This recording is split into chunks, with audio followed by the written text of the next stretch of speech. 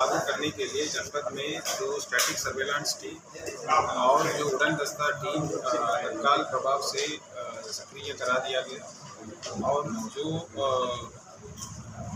आदर्श आचार संहिता लागू करने के लिए जो पोस्टर्स बैनर्स जो विभिन्न पोलिटिकल पार्टीज़ के जो लगी हैं, वो सब हटा दिया गया।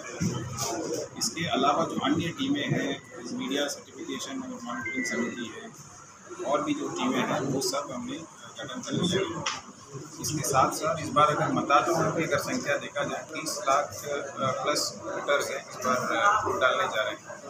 इसमें लगभग बावन हज़ार के ऊपर हमारे प्रथम बार मतदान डालने के लिए अठारह से उन्नीस साल के जो नए मतदाता, युवा मतदाता हैं, वो भी इसमें सम्मिलित हैं। हमारे थर्ड जेंडर का भी डेढ़ सौ के ऊपर मतदाता इसमें शामिल है। और इस इस बार जो मतदान केंद्र को बहुत वोटर फ्रेंडली और बनाने का हम लोग हम लोगों का प्लानिंग है।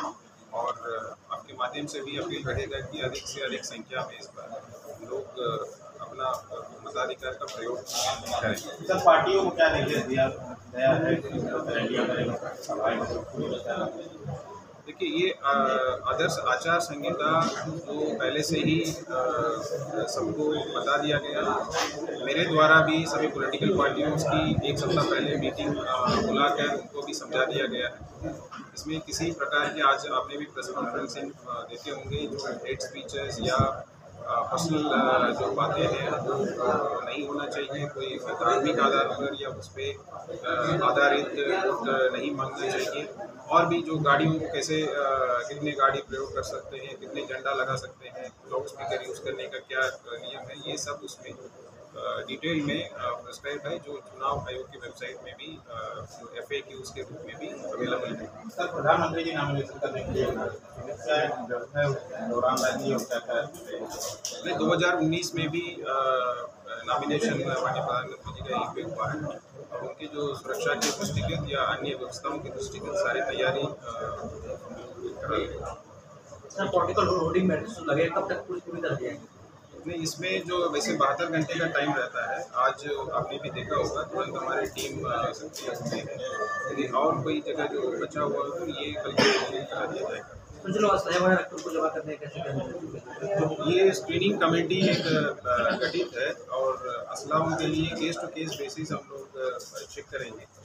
और यदि एग्जामेशन चाहते हैं तो अपना कारण को बताएँगे उसके बाद गाड़ियों ब्लैक शीशा झंडा जो लगा चल रहे हैं उनके क्या मॉडल कोड में जैसा कि अलाउड है वो स्वेच्छा से वो एक झंडा और एक स्टिकर को अपना लगा सकता है बट उसका सूचना जो है आर को उनको देना रहेगा कि हम यूज़ कर रहे हैं। इसमें दो प्रकार की होगी एक जब कैंडिडेट बनने के बाद वो खर्चे में जब जुड़ेगा उसके पहले वो परमिशन लेके अपने गाड़ी में लगा सकते हैं। वोटिंग परसेंट को बढ़ाने के लिए कुछ?